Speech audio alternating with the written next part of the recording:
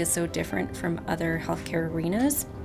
In any one setting, they may see three or four different healthcare professionals, which is kind of amazing for what we're able to accomplish within their visit frame. Dawn is an interprofessional student-run free clinic focused on providing the underserved patients of Aurora, specifically uninsured patients who can't get insurance, a place to come in and receive primary care.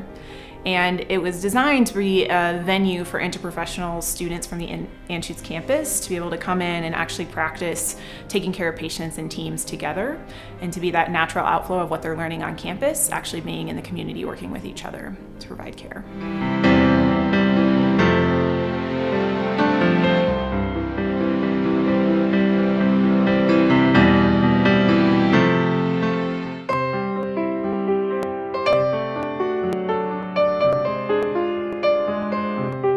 So we're going to see Eva Romero today. So she's a sweet 80 something year old lady who I started seeing about two years ago. We're going to head straight back like we usually do. And she had some pretty serious side effects to her insulin that caused her and her family a lot of concern.